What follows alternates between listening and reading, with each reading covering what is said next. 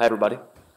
Um, so my name's uh, Mike Turquette. I'm with uh, BayLibre. We're going to talk about uh, you know, making a driver subsystem from scratch today, sort of some lessons learned and a few war stories. Um, but I'll start off with who I am. I've worked at Texas Instruments, Linaro, um, some cool San Francisco startup working on embedded Linux devices. And most of my contributions on the mailing list are around power management topics. Um, I wrote the uh, Common uh, Clock framework and merged that for 3.4. So there will be a lot of examples in this slide coming directly from, from that uh, subsystem, since that's what I'm familiar with. Um, so maintenance has been going on for over three years. I now have a co-maintainer, um, Stephen Boyd, and there were a lot of mistakes, rewrites, you know, a lot of a lot of screw-ups. And so you guys will hopefully be the, the, the beneficiaries of these mistakes and their fixes. Um, and also, it's the first time I'm giving this talk, so you are all my guinea pigs. Thank you. And um, we'll start off with this gentleman here. So I'd like to get a little audience participation. Uh, please raise your hand if you recognize who this guy is. I don't expect very many people. I know I talked to Greg. Yeah, Greg, you're like the only one. Okay, great. So this is the most interesting man in the world. And um, if you if you Google search for him, uh, you and if you search for most interesting man in the world meme, you'll see hundreds, if not thousands, of, of photos of this uh, style. And um, it's he's from some famous uh, commercials in the United States. So maybe not the best audience for this guy. Um, but he has you know good taste and good style, and uh, and so I aspire to that. I cannot be as good as him. But this presentation is filled with lots of subjective uh, uh, opinions on what makes for good style with device uh, framework design. And so he'll pop up a few more times when a slide is particularly uh, sort of subjective and not really based on fact, but just my, my strong opinion. So the agenda, we're going to talk about what makes a good subsystem, some design considerations, including design patterns or pitfalls to avoid, um, a really brief uh, overview of the actual Common Clock framework design, um, and then a, a few uh, slides on maintenance and being a maintainer afterwards. Please feel free to interrupt if you have questions or to disagree with me. Like I said, some of this material is a bit subjective. So um, yeah, let's start off with what makes a good uh, driver subsystem. Um, so you know, a, a subsystem is like a, a, framework or a library. It's some common code. It implements a behavior, a protocol, um, a, uh, an interface of some sort. Um, I use some terms, these are not official terms by any stretch. So I use terms like provider um, for a uh, Linux kernel driver, which you know plugs into the subsystem and provides access to the hardware. Um, I also use the term consumer, which are also Linux kernel drivers. These are on the consumer side of the API. Um, and a driver can be both a provider and a consumer. These are my own definitions. Um, I also sometimes use the word library, um, and we'll get into that, uh, what that means a little bit uh, later on. So. For the purpose of this talk, we're only discussing in-kernel users. Uh, user space boundaries are super important, but that's a big topic on its own.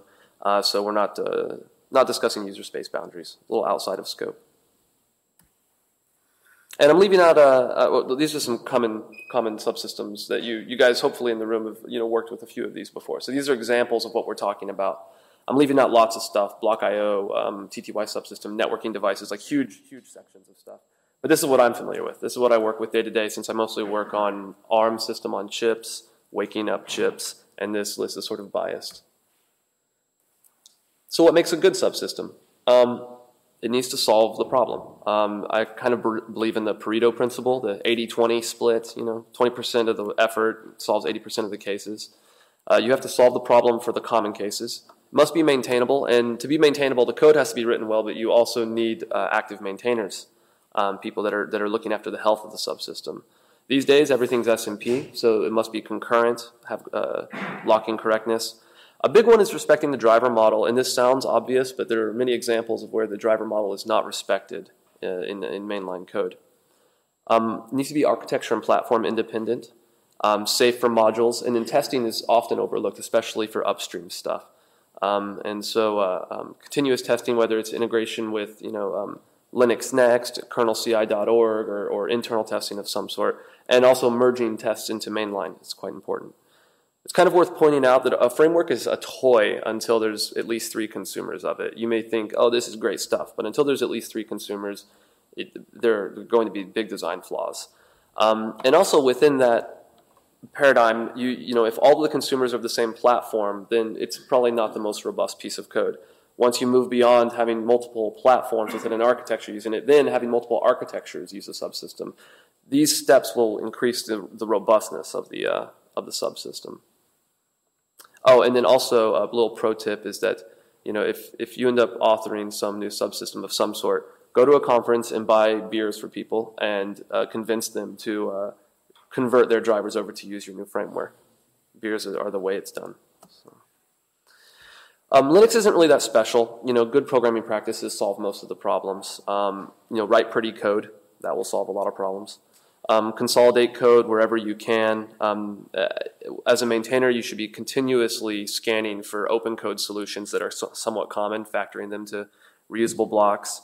Um, as a counterpoint to that, I'm also sort of anti-consolidation sometimes. Um, you know, provide helpers and accessor functions only as needed, because you know, don't over-engineer. A lot of times, I, I, I, see this pattern where every single knob or every single function call is, is internal function is exposed through some API, and that'll come back to bite you. If there's not a user for something, don't expose it.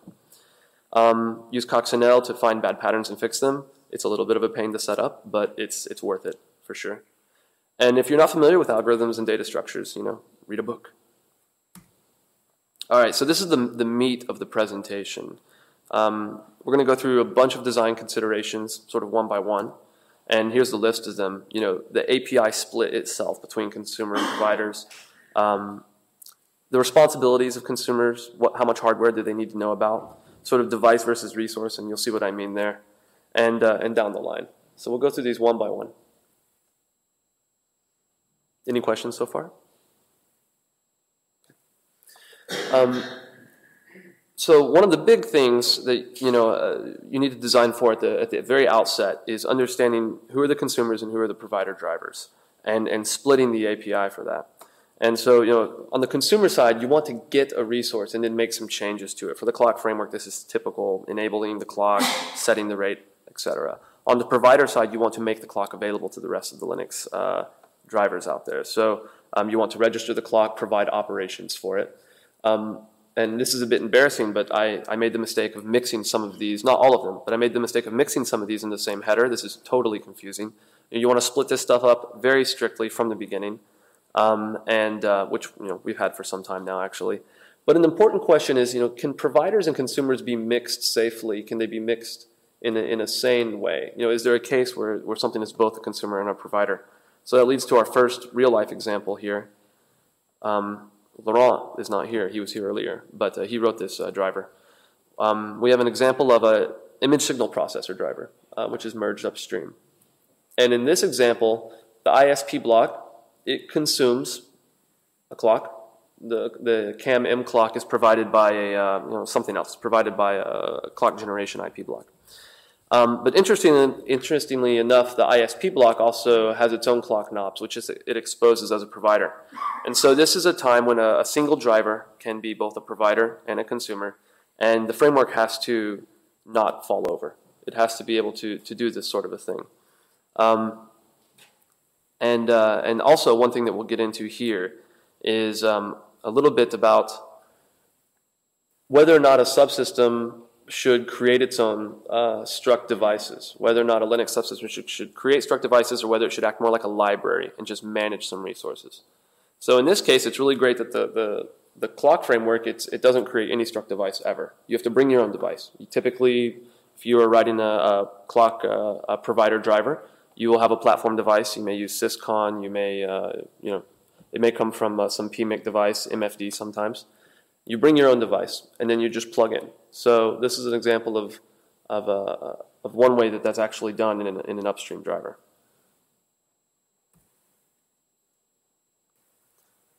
So another important thing is to understand like what are, what are the burdens that the consumer drivers need to bear. Um, a consumer driver should never need to understand the details of the underlying hardware. This will not scale, right? I mean, it may work on one platform, but then once the same MMC controller driver whatever is used on you know several different platforms, it just totally breaks. And so, one of the things that you want is to have a, a minimum amount of sort of platform knowledge have to get shoved into a consumer driver. And um, for the clock framework, what this means is we try to be really smart.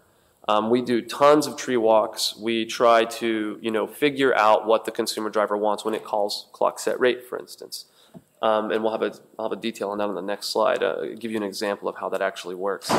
And um, you know, Stephen Boyd, uh, he's a, a co-maintainer um, of the clock framework. He once joked that we're putting an SAT solver into the kernel. If there's some computer science you know, nerds in here, you might find that funny.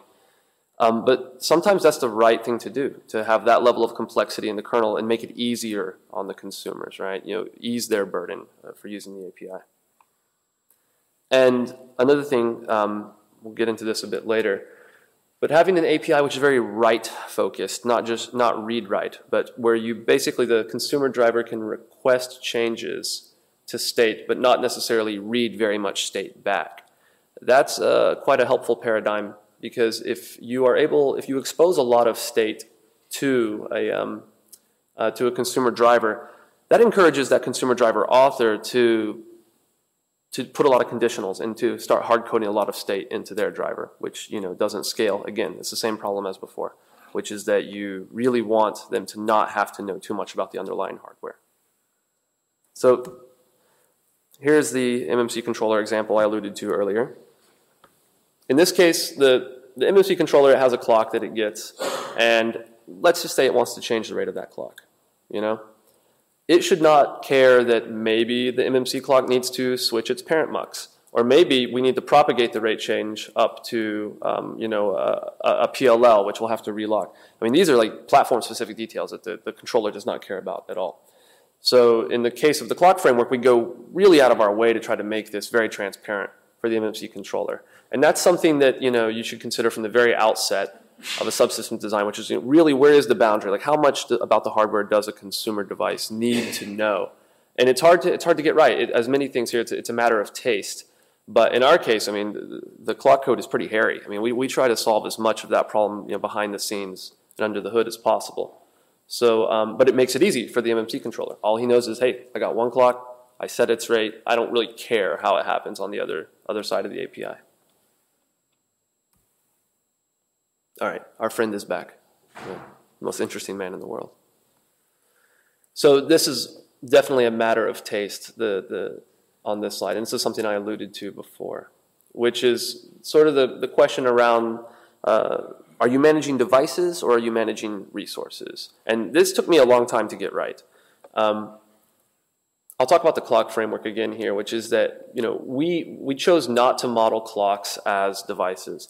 Now, you know why? Sometimes it's just practical. On a single system on chip, you can have literally hundred, like mo more than 200 clock nodes, right? Do we really want you know over 200 you know sort of devices flying around? Is that is that the right thing to do? And the way that those you know clock nodes are linked together is a tree structure that can change. You know, do we really want to have a representation in sysfs where the directory structure is changing on the fly if, if we're modeling the, the tree hierarchy? Does that make sense?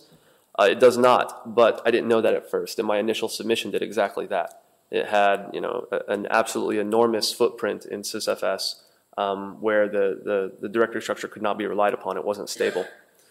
And, and so, um, you know, after some time, I came to realize that you know we don't really want to model clock objects. Now, this is an interesting comparison for those of you that are familiar with the regulator framework, which is kind of similar to the clock framework. You know, it's all power management related stuff. You need it to. You, you, it's one of the core things you need when you're enabling a new platform.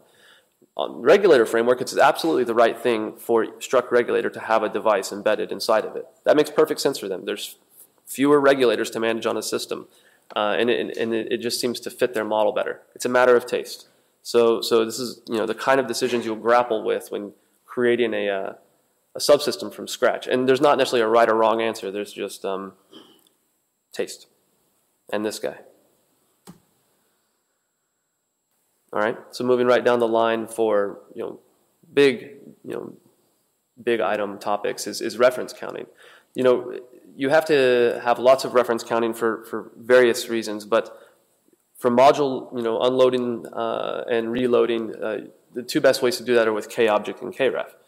And so, you know, this is going to help track your, you know, resources in the kernel and which one do you choose to work with? Well, if you're working with struct device, you get KObject for free. If you want representation in sysfs, you should be using uh, KObject. Um, but also, you can use KREF directly, which is in KObject for those of you that aren't familiar with these, uh, these two types. And um, KREF is lighter weight. Uh, you do not have representation in, in sysfs with it. And this is what uh, we chose to go with. And so the, you know, the reason we need this is because we have uh, consumer drivers, which are taking references to clocks, which are provided by provider drivers. And then we also have dependencies between provider drivers themselves. This gets into module hell if you're if you don't design it right from the outset. You know, you have um, uh, resources which are disappearing out from underneath you when you unload, a, uh, let's say, a, a module which is a clock provider. And now, you know, consumer drivers still have references to clocks, which you know you cannot control anymore because the the, the the, the module that uh, manages them is gone. And so you you know you, you have to choose one or the other. And uh, again, it comes down to taste. It really comes down to how the uh, how you are using the uh, the driver model or the device model in Linux. Um, I mentioned earlier that the initial submission of the clock framework used KObject, and then we ended up migrating over to uh, KREF internally.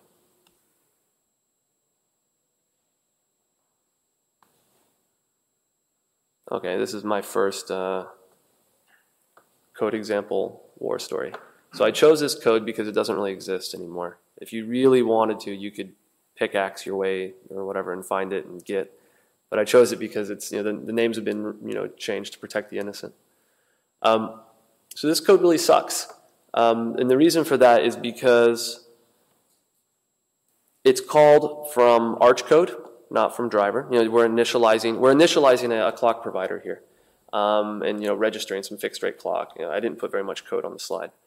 Um, but it's called from Arch code, not from a driver. And then it's, it's also called from an init call. There is no Linux driver associated with this stuff. We are registering uh, clock, uh, you know, uh, um, clock nodes with the clock library, with the clock framework, but there's no driver at all associated with it. They're just sort of, you know, out there, right? Who's managing it? What are they doing with it? And, and you know, how did this happen? Because this got merged. So, so how is it possible for us to, you know, sort of have this situation? Well, it's all about context. This is sort of the war story aspect of it. You know, at the time that uh, the, the, clock framework was uh, being merged in, there was a big push to just get it done because we were trying to enable single zImage or multi-platform boot on ARM. You know, device tree was uh, was just being adopted right around that same time, and so for device driver authors for platforms like this, you know, they wanted the shortest path possible. They already had their own clock implementations. They just wanted it to work with the new, the new shiny subsystem with the shortest amount of, of you know, the shortest path possible, the least amount of work. So they just adapt the, the current code, which this code had always been doing this. There had never been a proper driver for it, never like a, a platform driver. Uh, and um, and uh, some of this stuff got merged, and we've cleaned up most of it in hindsight, but we have a few of these still lurking around. This is something that I wish I had been aware of uh, more so uh, in the early days, which is um, really focusing on making sure that everyone's converting to having a real proper Linux driver. It's you know it's something you take for granted, but it, it, it's also a, a, real problem. Um, the real mistake I made was that I did not include a Linux uh, clock provider driver example. I wrote the framework and then I said, oh, you know, the, the code is the comments. You guys can just figure it out, you know. And the right thing to do is to provide like the cleanest, most you know. Uh, the best looking, prettiest possible example driver that you can if you're writing this new framework. You know, that give people a, a good idea of, of the right way to do it. Because if you just, you know, trust everyone else to do it the right way, most of them will, but not all. So, lesson learned. All right, locking, kind of an important topic, gets one slide. Um, the first line there probably probably explains most of it. You cannot trust drivers um, uh, that are, are, using, you know, um, that are using your locks at all. Uh, they're totally untrustworthy. So um, how do you how do you make the, these uh, things sane? Strict entry points are one of the really important things. Don't expose any data structures that can be touched outside of a lock. Um, that's just pretty good, you know, programming fundamentals. Um, and then, of course, you know, accesses to all the data structures in a locking scheme. But there's a little more nuance uh, to that. Um, one of the mistakes I still see sometimes is that the lock objects themselves, a spin lock or mutex or whatever, is exposed to drivers. This is a pretty big mistake. You open yourself up to deadlocks that way. You know, access to the lock should be behind the entry points that you control. You know, um, but I still see that one a lot. Um, if you expose your locks, the, the consumer drivers will, will deadlock you right? And unless you're you know boot testing on every piece of hardware under the sun, you won't you won't necessarily detect that. Um, and then um, drivers can have their own locks. If they really have some special needs, they can have their own locks. Uh, one of the things that we did early on in the clock framework was with these basic clock types that implement like very simple implementations of um, divider clocks and gates and things like that that everyone has to use. We provided hooks uh, that the platforms can plug into to provide their own locks. Perhaps they have um, registers that a lot of different subsystems are accessing, right? And maybe they're not using RegMap. And so if they're not using uh, RegMap, they do need to have some lock so that they're not, you know, tromping on each other at the same time and, and you know, read, modify, writing the same register. So we provide hooks for that, but not the locks. The locks come from the drivers. So that's, that's one of the things we actually got right early on. Definitely don't expose your locks. And here's an example of, of a tricky locking situation um, and how we handled it. So um, in the clock framework, we have competing needs. Uh, one thing I haven't discussed yet is that the, the, the consumer API is quite old. Um, it predates the implementation of the common clock framework. It, it's been around for years. And in that legacy API, we have this clock enable and disable. Those can be called from interrupt context, and that's just the way the API has always been, um, for better or for worse. Um, but in real hardware, some of the ops might sleep or take a long time. Imagine a PLL relocking and having to settle down, something like that. So these are at odds with each other. So a clock prepare and awesomely named clock unprepare, um, those were added to the API, the consumer API, to supplement uh, uh, the, the enable and disable. So we use a mutex for prepare and a spin lock for the enable ops. The only way to make this sane is just to have strict rules around it because we're, we're mixing locks at this point. Um, we have uh, uh, consumer drivers have to call these in order, prepare and then enable, and then disable and then unprepare. Um, and the, fir- you know, the, the, the, preceding call must always complete before the next call is finished. There's not a great way to automate checking for this stuff. A lot of this comes down to review. You just have to make sure that the drivers are, uh, the consumer drivers are never violating this rule. As long as they don't violate this rule, you'll be fine. But um, this is one of those uh, uh, solution is somewhat simple, but at the, at the time, coming up with a, a scheme that was sane was, was, was somehow difficult. All right, second war story where I, I blew up Linux. So in this case, we totally broke uh, I2C. And uh, what we have here is we have our food device. Everyone knows what food device does. And um, it consumes a clock. That clock is provided by this the, the top gray block there, which is, you know, maybe a, a PMIC or an I2C clock expander. Now this PMIC also has its own clock that, uh, that it uses, this, uh, you know, this uh, crystal or whatever, this external crystal. So what happens when food device calls clock enable on, I, on I2C out clock? Um, we try to enable that clock, which results in entering the I2C subsystem, the I2C subsystem, nice and generic code. Um, it, you eventually hit the I2C transfer function, well, I2C transfer calls clock enable on the clock that it needs, right? Deadlock. And so this was a very common case in which, like, basically, we all of I2C broke um, due to our locking scheme, and we had to fix it pretty quickly. So, um, you know, how do we do that? How do we get rid of the deadlock? Well, there's a lot of different ways to solve it, but in this case, what we did was uh, we added reentrancy to the clock framework, kind of like a gross, not so nice reentrancy, but it works. Um, and so the, if you are in the same context and trying to uh, acquire the same lock, then we allow you to just bypass the lock. And the implementation is, is here. I've wondered if this code is useful enough, this kind of implementation is useful enough to be merged into some generic helper. But you know, we, we basically use the um, current thread info uh, task member, and if that's the same, uh, if, if we try to hold the lock and the lock is held, but the guy holding the lock is us, from the uh, from the, the the current thread info, then we just keep going. We just bypass the lock and keep going. I've wondered if this is useful to other people. It's it's just in our private code right now. But this gives us reentrancy, very very very limited reentrancy um, to handle cases like the I2C uh, case. So this is a, a very real problem that we ran into and. No, no, no. I, I, mean, I haven't yet. I haven't even tried. But, but I know. But I mean, this is this is a problem that you know others must have uh, from time to time.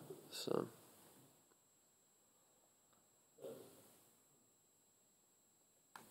Is there a question?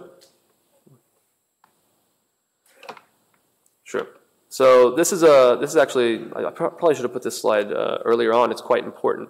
I asked a bunch of you know subsystem maintainers and authors for advice on this talk, and I think this was the the one piece that almost every single email I received back highlighted, which is protecting your data structures and your bookkeeping. This is sort of like not exposing your locks to drivers because drivers are, are crazy. So um, what you need to do is, you know, don't expose any bookkeeping at all. People will muck with it. And there's some interesting examples in the kernel where we have um, data structures that now being able to touch things you shouldn't touch is a de facto behavior, and we'll probably be stuck with it forever, uh, or until someone does like massive rewrites. And so avoid that from the very outset. You know, use opaque handles where you know the the, the, drivers cannot dereference the pointer. And this thing this seems pretty. Uh, basic stuff, but, but I see this, this is wrong all the time. Um, if you are going to give you know, some kind of driver access, think long and hard about if you really need to or, or if you can limit um, what kind of data structures they can uh, dereference and have access to. And um, of course, reference count all the accesses so that you can have a sane module functionality. But this is, I can't stress this point enough. It's usually pretty easy to implement, but um, people when they're writing code they just tend to think oh if i make everything you know it's all in kernel it's all in kernel it's all trusted right? Like we're we're all going to get along. But you, you really can't trust the drivers that are consuming the code that you write. So um, kind of moving on to the reference counting uh, discussion so um, on the on the right side of the screen, we have like the old monolithic struct clock, which did global use counting. Um, at the very bottom, you can see the enable count and the prepare count. And um, this was fine. It, it, it works just fine. Um, it lets you know if use counts get out of whack at a global level. But you have no clue um, what driver will have made you get out of, you know, uh, what, what driver was, was acting badly and, and messed up the use counts. And um, eventually we introduced on the left side a, uh, a wrapper structure, which is um, now dedicated to each user. So for each user of a clock, each uh, driver that consumes a clock, we allocate a new struct clock. And we have our own, uh, in the red there, we have our own uh, reference counts dedicated specifically to that user. And this is a design pattern that's it's really helpful for debugging. Now you can know exactly when a specific user screws up uh, uh, the the reference counting directly and you know, oh, this is the driver that messed it up. So this is a small little tip, but it's something that, that helps a lot with debugging and trying to uh, uh, verify correctness of um, you know, sort of downstream drivers. Oh, and for a, a weird bit of history, um, going back one slide, I was, I was talking about how you need to protect data structures in bookkeeping. On the right side, that structure used to be exposed in a header that was cunningly named clock-private.h with a huge comment block that said you're not allowed to include this header. Um, but of course, some people did. So eventually, we were able to. Uh, that was for legacy reasons. That there, there some. There were technical reasons to do that in the early days. But after two years, we were finally able to update all of the users of of uh, the clock framework to not need that. And after a two-year Herculean effort, we were able to um, move all of this stuff into a C file that's not exposed at all via a header. So that, you know, there's exceptions to all the rules. Sometimes you have to make a bad design choice, but the important thing is to revisit it and, uh, and clean it up when you can. All right, get put abuse. This should never happen. This happens all the time. Uh, you see this sort of thing where you know you get a resource, you do something with it, you put the resource, but you keep the, you keep the pointer around and you know uh, and, and and call a function on it when you the reference counting is now out of whack.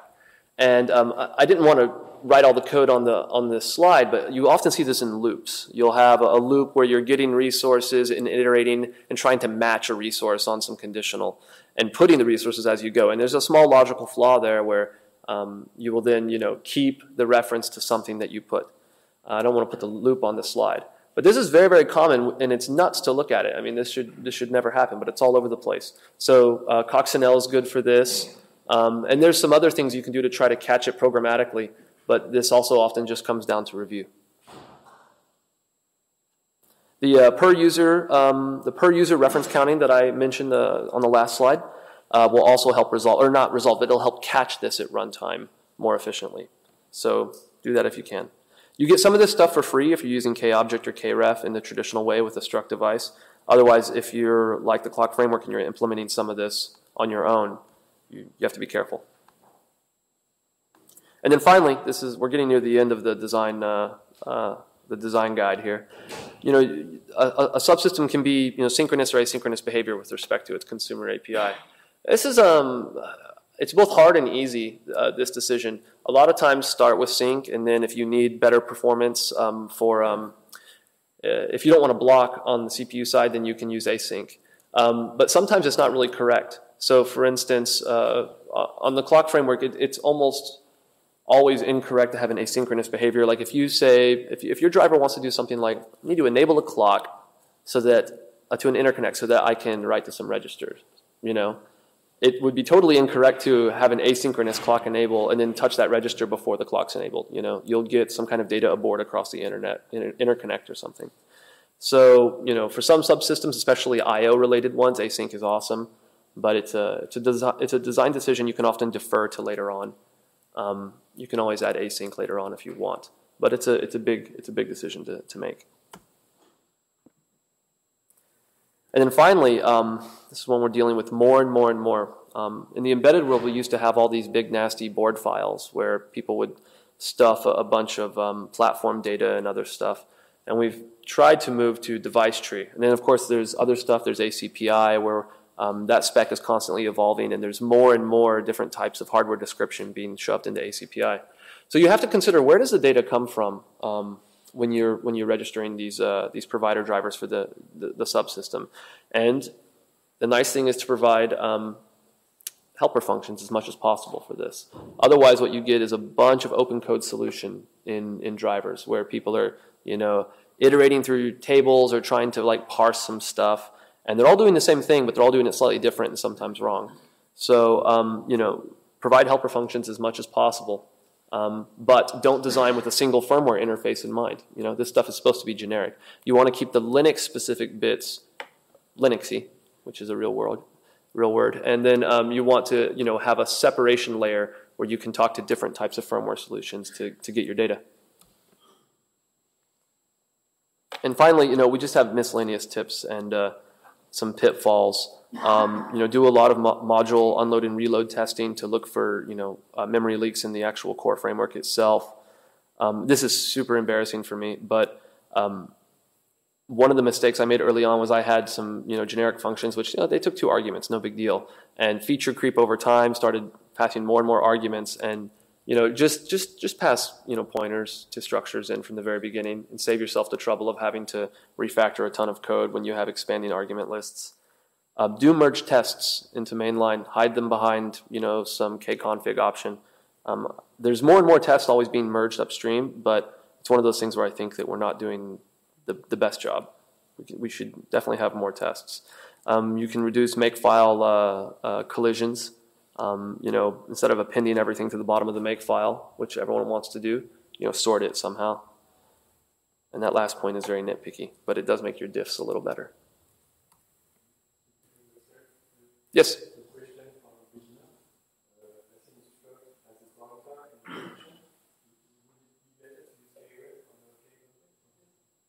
Would it be better to use kref or not kref for that? Well, so no. A lot of times, what you're what you're doing is you might create a struct on the stack and point it uh, and pass it in, right? I mean, it's I don't know if it's I don't know if the kref or kobject thing plays in here. It's just the fact that, you know, if you have a consumer um, facing API, and let's say there's uh, 40 drivers that are implementing this thing, right? If you make a change to that argument list, you have to go and refactor all of those drivers, right? So you can just do yourself a big favor by passing in a struct instead that makes that a lot easier, right? Um, a lot of times the drivers that aren't using the new feature can just ignore it, no update required for them whatsoever. So it's just about making it less noisy to introduce changes or new features into the core framework. So. Any other questions before we go on to a couple of examples? So, um, so we're, we're nearing the end. So uh, a, a, little bit of background on the clock framework. Um, the, the, API that it implements is, is quite old. It, it predates the, the, the, implementation of the, of the common clock framework quite a bit. Um, and uh, it's the API is only the consumer side of the API. It's, it, it, never, it never stated at all how to create a Linux device driver that implements a clock driver, implements a clock provider.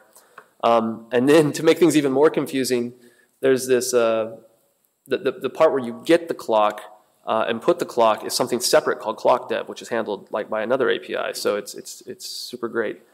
And um, there's multiple implementations of the clock.h API. Even today, um, on PowerPC and in MIPS and in ARM, there's, um, there's, there's totally uh, independent implementations for this API. Now, those cannot be combined into a single image, right? Because they're all defining you know, the same structures differently. Um, so if you want, the reason we implemented the common clock framework was so that we could have these multi-platform images where we shove, you know, maybe hundreds of different platforms into one giant uh, uh, binary image. Um, and also increases code consolidation, increases reuse, and hopefully when we fix one bug somewhere, it fixes it for everybody. So a lot of, a lot of reasons to do this. This happened at the same time as some other developments. You know, the pin control and pinmux um, by uh, Linus Walleij was going on, which is somewhat analogous, trying to solve a similar set of problems. Um, and also the device tree uh, adoption for ARM was happening at this time, which made it really interesting because everyone was trying to figure out how to craft a, a decent device tree binding at the same time they were trying to create these new unified frameworks. So it was, it was, it was fun times. Um, so the whole design of the framework in one slide is, you know, it's a library. I mentioned earlier, you know, these frameworks, I, I use the word framework a lot of times when the framework's creating a struct device and a library when you bring your own struct device, but you're just managing some resource.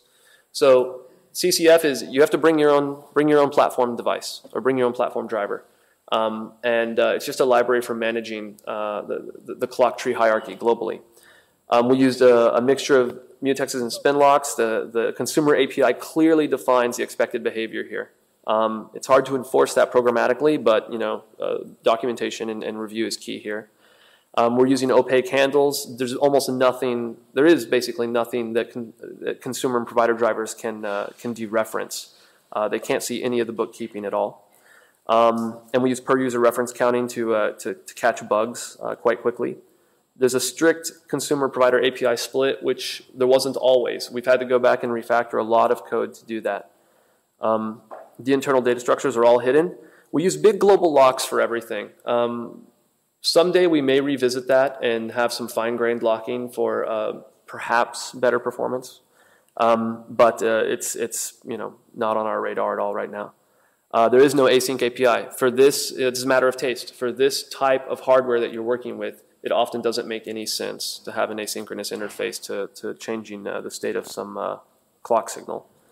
And interestingly enough, as I mentioned on the previous slide, the API itself is shared with competing implementations. So we're not free to just go into clock.h and just change whatever we want because we're going to break a bunch of platforms on MIPS, PowerPC, and, and ARM that are they're maybe old um, and maybe no one's actually booting them, but you know you can't do that.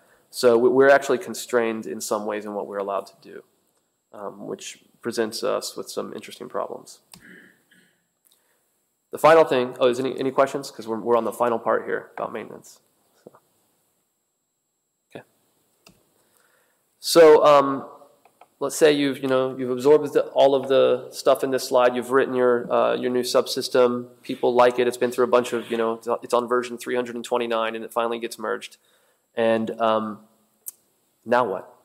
So merging some new piece of code where uh, other Linux driver authors are going to plug into it. That is just the beginning. It is not the end. And it's very important to stress that because there is this phenomenon where companies will throw code over a wall. You know, they'll, they'll, even, they'll even go through the effort of doing multiple revisions on the mailing list, but there's no follow through, right? They don't want to maintain it. They don't want to continue to shepherd the health of the subsystem going forward. So it's important to stress that getting something merged is just the very beginning. Um, and um, I found that for, a, for me personally, um, I found I ended up in the beginning having to set aside 50% of my work time to maintain this thing, which is way more than what I thought it would be. And I think it's common to underestimate. Uh, it's another feedback I got from a bunch of maintainers. It's very common in the early days to underestimate how much time uh, you think you'll need to spend with a, with a new piece of code that a lot of people are interested in. You're going to be getting tons of bug fixes, tons of new driver ports to review. And in the early days, you need to review basically every line uh, very, very closely because you're setting precedents and setting um, examples that other driver authors will use. Once you have some really nice uh, uh, drivers which are using the framework, then you can sort of say, oh, look at how those guys did it, you know, and, and, and follow their example. But you need to have good examples first. And how to maintain your sanity is, is quite important. So um, finding a co-maintainer is something I wish I had done probably a year before I did it. Um, my solution to this was pretty simple. Uh, I went through all the people that were um, doing the, the top contributions, not just to the drivers, but to the core framework code itself. Um, and uh, you know, I, I approached a, a, couple of them about that. And you need to talk to people. You don't have to have the same worldview. You don't have to both like long walks on the beach. You know, the same sports teams. None of that's important. What's important is that you can have a clear line of communication with this person. You know, that you uh, you don't have to agree on everything, but as long as you don't talk past each other and have communication issues, pick someone that's a top contributor. Ask them if they'll help. People are pretty friendly. A lot of times they will, and that that that's just having you know going from one maintainer to two is is enormously helpful. And of course, there's some you know there's a lot of times where you get three or more maintainers maintainers for a, a specific bit of code. Um, setting up a mailing list or IRC channel, I, I, get mixed reviews on this one. I like it because for me it helps filter out the noise. I also think that uh, if you have a dedicated mailing list, you tend to get the people that sign up to that list are somehow motivated to do more review, and um, that sort of helps. You, you, know, having one person doesn't have to do all of the review. You know, get the community's help on that. Some people don't like this. Some people want everything on LKML, whatever. Um, and then yeah, automating everything. So I realized after watching Greg's uh, talk yesterday, like I have a lot, a long way to go towards automating my workflow.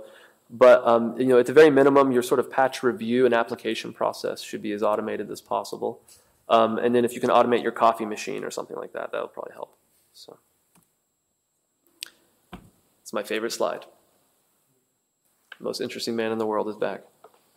So um, the primary function, once you're starting to maintain some code, is to say no. Uh, and, um, you know, that doesn't mean say no to everything, but the point is, is that your job is not to say yes. Your job is to say no. Uh, and um, uh, in fact, you may get so busy saying no or, or, just reviewing and giving feedback that in time you may not even be the top contributor for some code that you wrote, um, which is uh, an interesting position to be in. Um, oh, I think I misspelled May. Um, and, and, and that's okay. That's not a problem at all. Um, once you get more people involved, you get a different perspective. A lot of changes and bug fixes come in. Um, it's, it's what you want for the health of the subsystem.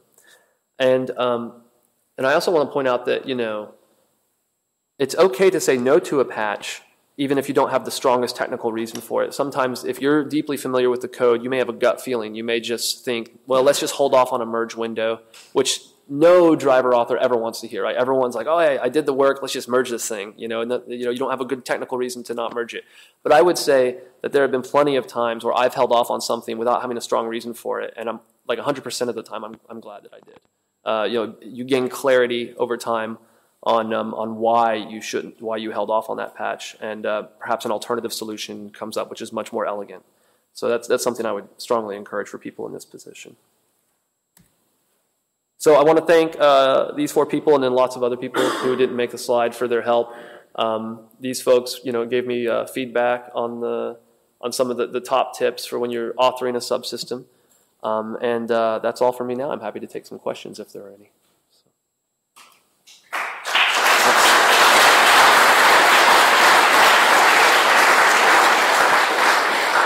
Yes. Oh, uh, yes, this one.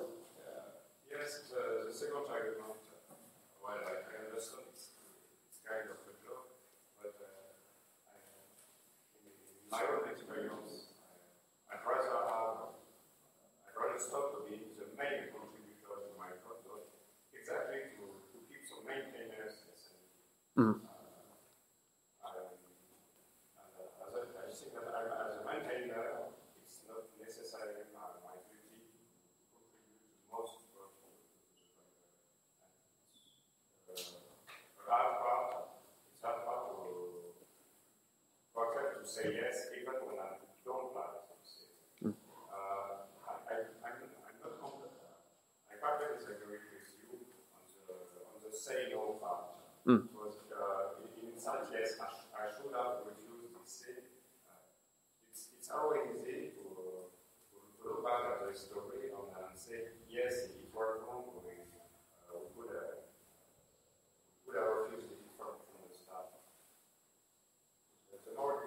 Goes, I'm convinced that uh, this, that this is kind of uh, retrospective uh, is, uh, is something else than, than, than the future psychology company else. So So it- It's right, sometimes the other way, sometimes uh, we should, uh, we should have, done, uh, we should have, we should have said when when we had seen it. But it's, uh, it's really hard to say that, to say, saying no is, uh, uh, is the approach. If I, if I can tell you, if I can tell you why, uh, why I say no, I, I usually try. Really hard to find uh, why uh, why I should say I should say yes. Or how uh, how it could uh, could, could turn into into a. Even if you say no, you, you, have, you have the ability to say yes later. If you say yes, Yes. you can say no. that's the way I that's the way I feel about it. Yeah, and that's also why the most interesting man in the world is on this slide because this is you know just my opinion. It's it's uh, certainly a controversial point of view. Um, but yeah, I, I think that it's I think it's better to, to merge something in time than it is to you know do a revert um, uh, later on. But that's just that's only my opinion. And to your first point about um, not being the top contributor, um, that, that that's true for me. I, I'm no longer. I mean, in terms of lines of code for each merge window, I mean, you know, I'm I'm probably not even the top contributor for, for the past year on the clock framework. You know, so which is I think a, a healthy sign. So, some other people being involved. In my opinion, in fact, it depends uh, if you are the only one to be able, uh, who are, who is able to debug uh, the problems which are caused by uh, uh, what you, you have set to merge or not. Because uh, if you say uh, yes uh, you uh, end up being the only one to uh, fix bugs and you spend 100% of your time fixing bugs, you don't make progress anymore. So Yes. what is difficult is to first find some strong common who are Mm. willing to uh, participate to bug fixes and bug. Yes, yes. Agreed. Finding a co-maintainer is very important. So.